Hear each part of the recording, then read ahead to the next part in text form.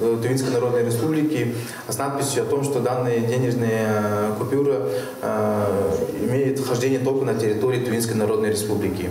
Министерство финансов республики отмечает свой вековой юбилей. Датой основания ведомства считается 1 сентября 1922 года. Первым главным финансистом Тувы был Уюн Танчай. Тогда структура министерства состояла из трех основных отделов – налогового, бюджетного и таможенного, которые работали на основании особых инструкций и положений о Минфине. Со столетним юбилеем финансистов республики поздравил глава региона Владислав Хавалых.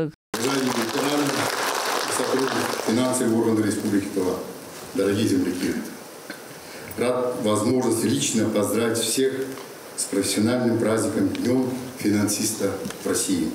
За столетие финансовая система республики не раз перестраивалась, но всегда главной целью финансистов было и есть качественное улучшение жизни людей, развитие региона и страны в целом. В честь юбилея лучшие работники и ветераны отрасли отмечены правительственными наградами.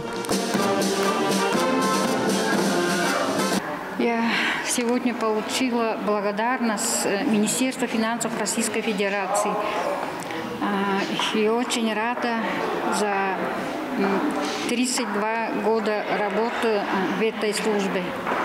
Но за время своей работы я, конечно, старалась выполнять все свои э, мне э, э, задания, всякие разные, там, информации, отчетность, все-все выполняла. Финансовая служба – это, безусловно, жизненное призвание. Столетие – это новая точка отсчета, новая веха в истории бюджетно-финансовой системы региона. Мероприятие завершилось праздничным концертом на сцене Дома народного творчества. Алтынай Сая, Шолбан Монгуш, Миран Эргит, Тува-24.